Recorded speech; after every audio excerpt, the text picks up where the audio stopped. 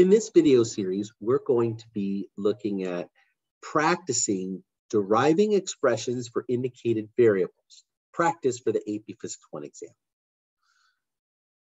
Remember to pause or rewind the video as needed. Problem number two.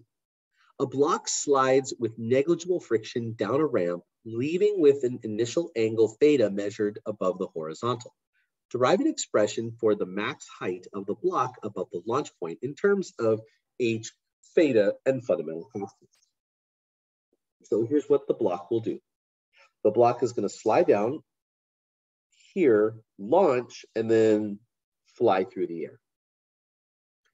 Now, with that said, falling down the ramp and getting to the end of the ramp should lead you to a conclusion of conservation of energy because there is a change of height and clearly you're accelerating, so there's going to be a change in speed. Those are two pretty easy ways of knowing when to use conservation of energy. And here we have projectile motion, but it's projectile motion with a launched angle, with a launching angle. Why is that important? Well, when you're launching with a launch angle right here, that V naught, that initial velocity, is going to have to have components, V naught X and V naught Y, where V naught X, if you recall, is V naught times the cosine of the angle, and V naught Y is V naught times the sine of the angle. So you're going to need that when you get to that part of the problem. What, again, concept links these two? The velocity. The velocity at the end of the energy problem becomes the initial velocity of the projectile. Velocity will be the unifying variable pretty much in every problem. Let's begin. So I'm going to choose the initial part of the problem here. I'm going to call this uh, the initial part of the problem right here. And I'm going to call this the final part of the problem at the end. So the an energy initial would be, I have initial potential energy, therefore I'm gonna write mgh. The block is released from rest, so I'm gonna write initial kinetic energy is zero. My initial final energy, which is right there when it leaves the ramp,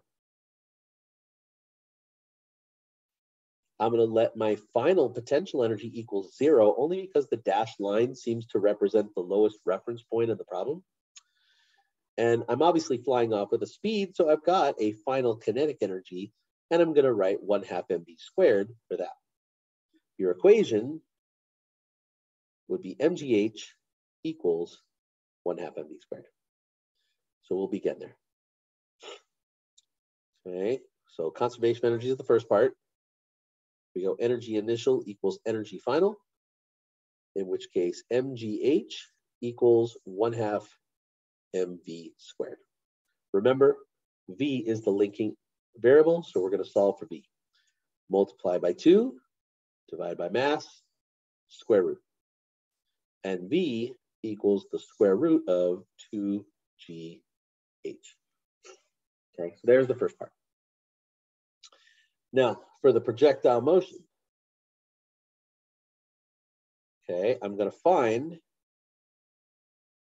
V naught X and V naught Y. So V naught X is going to be V naught cosine of your angle. So it's going to be, well, what was V naught?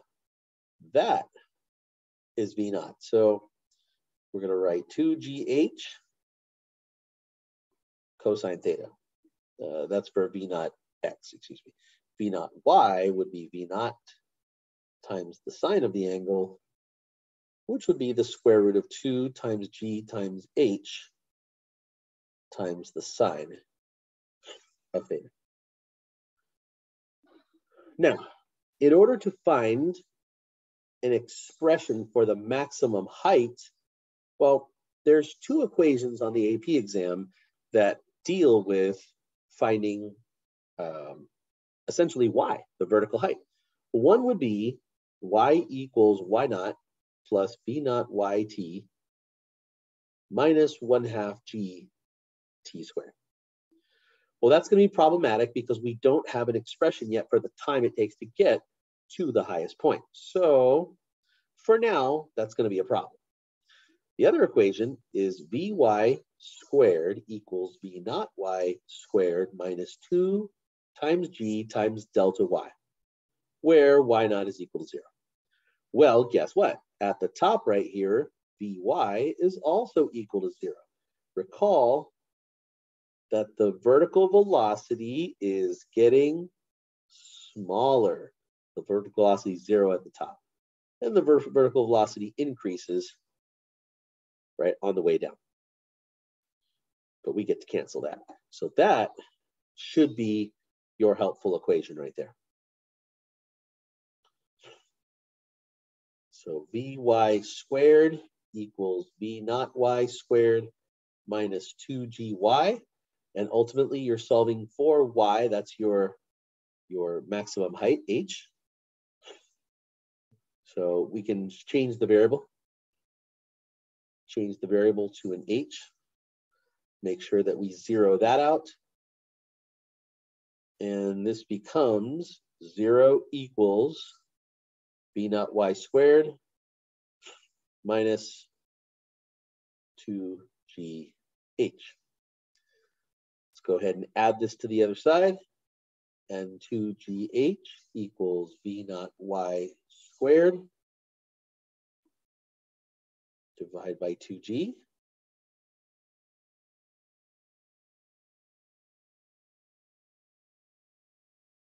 And h, maximum height, is going to be v naught y squared over 2g. So v naught y was this value right here. So we're going to go 2gh, the square root of 2gh, sine theta, over uh, and we're going to square that, over 2 times g. Okay, well, when we square all of this, we essentially get the, the square cancels the square root. So we get 2g h and then sine squared theta divided by 2g you all can see that 2g will cancel. And h uh, is a little h, the maximum height is equal to big H, which is the height of the hill, times sine squared theta.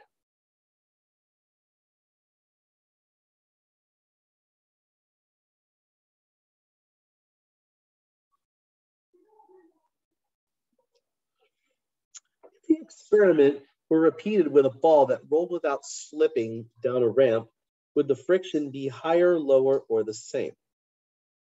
Well, a ball rolling without slipping also has rotational kinetic energy.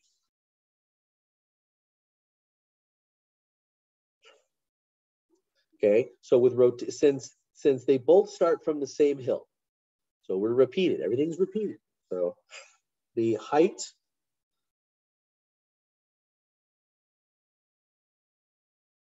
of the hill H is the same, which means your gravitational potential energy, your initial energy, is the same.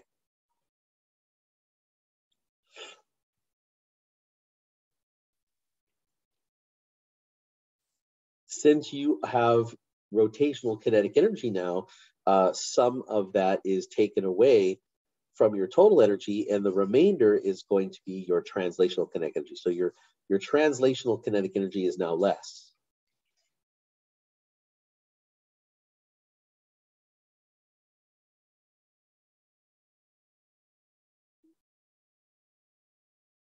Which means now the speed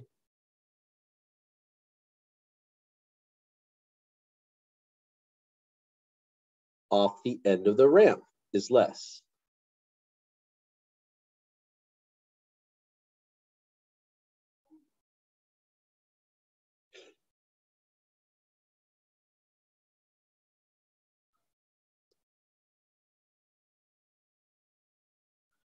Block's height, h, will be lower.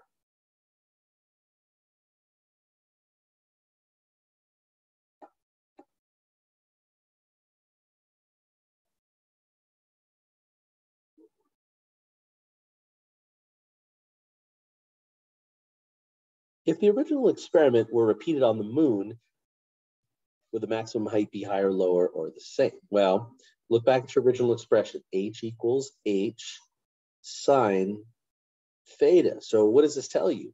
h is only proportional to h, and h is only proportional to the sine of the, the angle. So what does that mean? On the moon, g is different. But you can see h is not proportional to g. Height is independent of g.